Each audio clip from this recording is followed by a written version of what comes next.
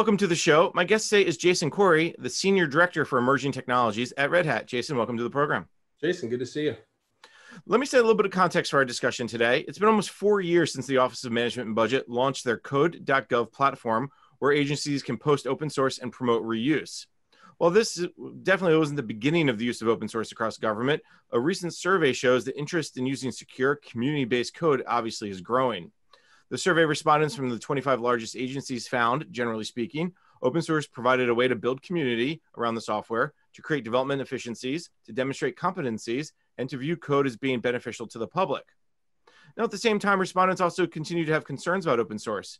These included areas around scope alignment, changes in work practices, risk avoidance, specifically cybersecurity risk, and the need for permissions to use the code themselves.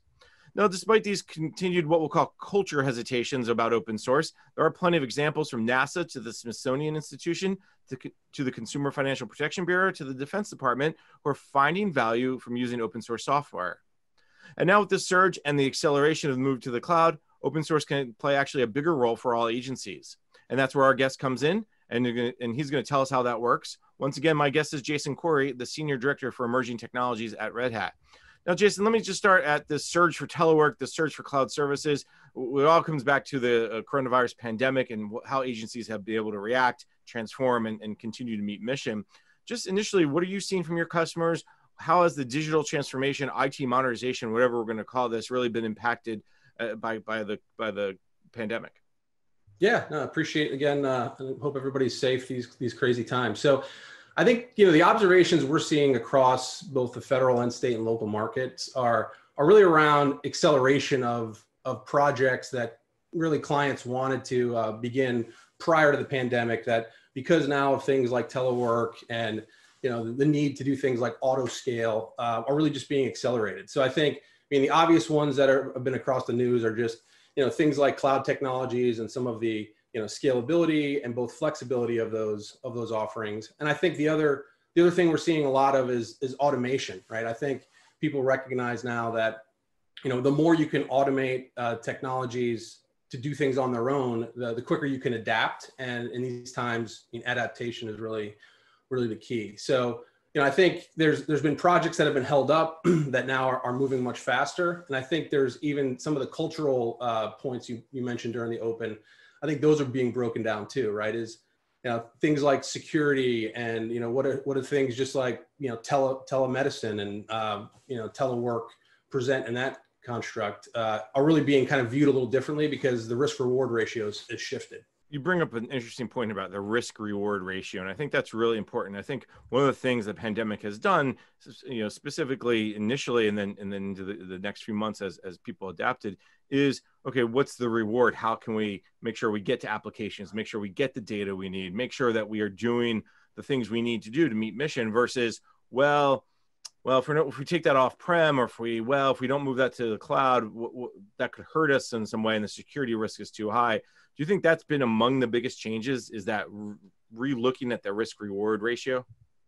Yeah, absolutely. I mean, I think when you when you really think about the decisions that all of our government clients have to make, I mean, there's always really strong intentions, right? They want to do the best things for citizens, for the mission, um, but they have challenges. I mean, you know, budgets are, are a big piece of that, and you know, the the risk reward ratio when it comes to that really is, is a focal piece, right? So I think what what we've seen is that whether it's you know in the DoD space or in the civilian market or in or in state and local, um, people recognize that and we have to forward invest in some of these capabilities uh, because you know who knows what tomorrow is going to hold. I mean, uh, and, I, and I do think sometimes when you look at that risk reward ratio and even something as simple as moving to the cloud, you know, it's costly, it's disruptive. It, you know, there's a lot of change on the process side that has to happen. Um, but again, the benefits you get of doing that are, you know, your unemployment website will auto scale, right? When you go from 6,000 requests to 313,000 requests a day, which is some of the things, you know, we're seeing in some of our customer bases. So, you know, I think it's a positive, um, but at the same time, we're also really cognizant of, you know, there, there's risk that it gets introduced when you try and go faster. And, you know, that's, that's really the role Red Hat's tried to play within that ecosystem, balancing the two let's talk a little bit about that that balance because I think one thing that as agencies move to modernize their applications, move to the cloud, that risk reward and the balance of it is really key. And I think, as you talked about, something that Red Hat tries to do, open source can, can play a big role in that risk reward balance. Talk maybe a little bit about how you're seeing customers and or people in the public sector starting to use open source to balance that risk reward ratio. Yeah, I mean, so when, when we talk about open source, I like to, to frame it in three three different ways because open source is, is kind of like the term cloud, right? It's very very broad. So I think about it as both, uh, you know, the natural thing people think about is the development model, right? So the way software is created via an open source development model, uh, and then the output of that is oftentimes right technology that's used across the enterprise now. So you know, it's the development model, it's a type of technology, and then increasingly over the last six to seven years, we've seen a shift in, in, in customers of really it's also a way to organize and it's a leadership construct right for this new kind of information age where adaptability is important and you know voicing of ideas and you know being transparent uh, becomes more and more important. So so i think you know with each of those uh, red hat ha- has tried to to play a role right? So obviously on the open source development model we're, we're a 27 year old company now that really you know helped to to to found the you know concept around open source. I mean, people most people still associate Red Hat with Red Hat Enterprise Linux, but you know as technologies across you know cloud, virtualization, AI have sprung up, you know the majority of those innovations are coming from open source development, open source communities and that's had a natural shift for really kind of what the vendor community looks like right now right? Like you know in 1993 we were one of the only open source enterprise uh, software companies. But now every major uh, vendor that government clients will work with have an open source practice or an open sh- uh, open source uh, capability. So i think you know that technology has really really kind of come a long way. And then on the organizational side of it that that is an area where you know we believe open source applies to areas outside of technology, whether it's you know medicine or uh, you know education. So you know our CEO has written books around how to organize around op- the concepts for open. And I think when you go back to really understand trends around agile development and uh, you know they're very similar, right? So I think what's being what's happening over the last five or six years is that concepts that have been in, in open source development communities for a long time are now being applied to the marketing department and the operations team and how we do logistics, right, in, in different different ways. So, and I think in all three of those, the development model, the technology, and you know the broader discussion around mo- organizational models, you know, we've we've played a really active role. I love the analogy you made around Agile and DevSecOps and things like that, where a lot of the practices in open source now are being just moved into these other areas. And, and I think that's why maybe the risk reward ratio is starting to change because because I think agencies are, are more comfortable understanding, well, we've like we had success with agile. We brought people in. We brought in the user. We've talked about user journeys. And in many ways that's what open source when the development side the tech side was all about was get more brains in the room to help solve the problem. Do you think that's why in some ways and again i use this quite often the silver lining in this pandemic is this acceleration of digital transformation that they're able to do it fast because there's an urgency, but also there's this comfortability that has developed because of these other concepts like you described. Yeah, no, I, I think that's 100% true. And, and I think, you know, you can see it on even things like Super Bowl commercials, right? Where like developers are prominently kind of showcased. But, but I think, and I had a conversation uh, with my son this morning who's, who's 12 and he was asking me questions about technology and I, I, was explaining to him, you know, with the DoD, we, we work on a lot of mission systems and weapon systems. And he's like, well, why does Red Hat talk to people that build missiles or, or, or, or tanks or any of these things? Like when they're, and I, and I said, well, because all of those are, are software, right? Like, yes, there's, you know, a certain, um, a certain level of, of hardware and, and weapons, weaponry and so forth. But, but everything that we touch now is software. And that, really has i think driven really start to be understood but that's what's driven sort of the rise of like how agile can be applied to these.